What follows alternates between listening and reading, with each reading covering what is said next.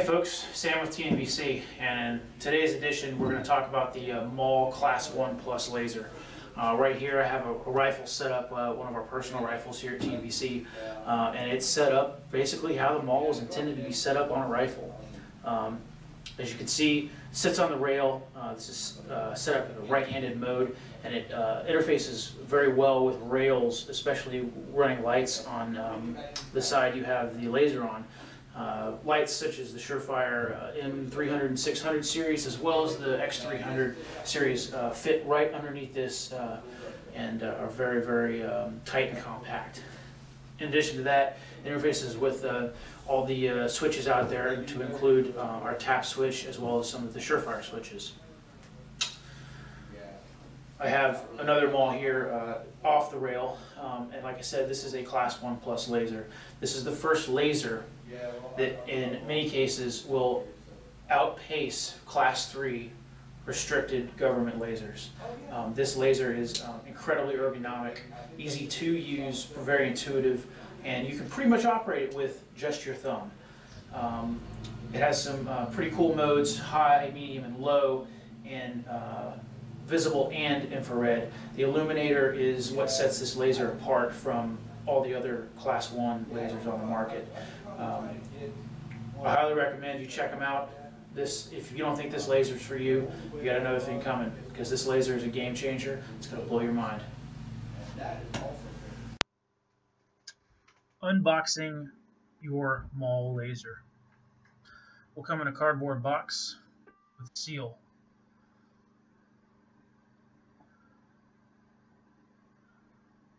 You will get an owner's manual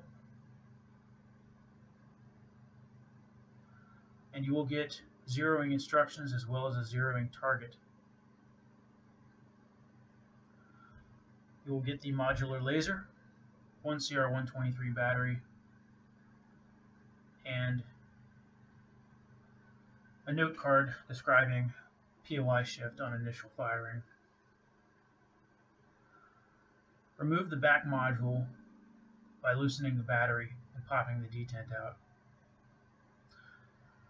You can also move the front module to the other side if you're left-handed by removing it as well.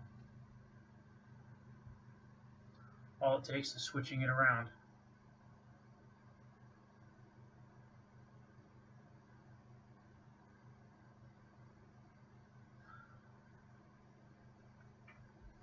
Once you've decided which side you want the laser to go on your rifle, put it back together as you wish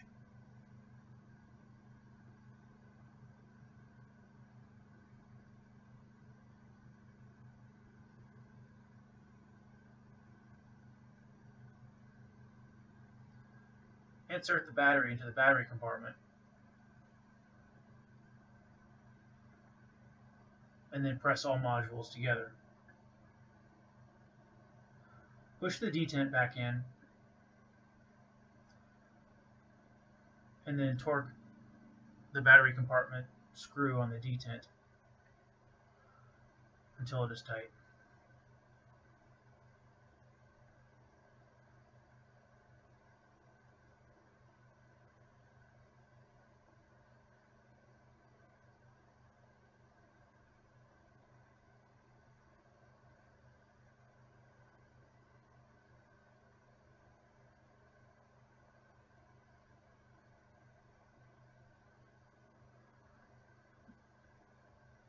Test your MAWL, cycle through the different modes with the front bezel using the A and B buttons.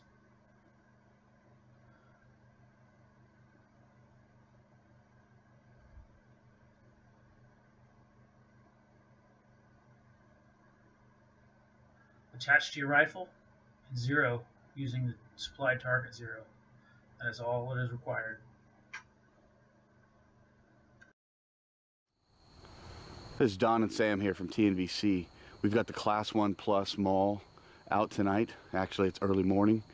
And we've got targets set out at 100 and 200 yards. We're going to show you the various settings and what they look like through night vision. And we're going to fire off a few shots. Sam's down there shooting. Starting out, he's got the MAWL set with the switch all the way to the rear in what would be considered CQB mode.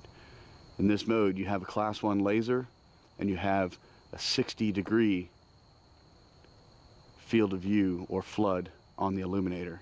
Go ahead, Sam.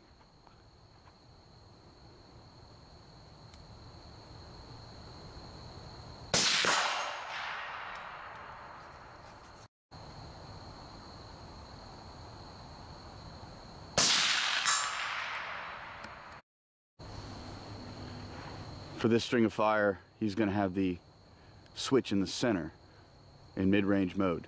You still have a class 1 laser, but notice the illuminator and how much more focused it is.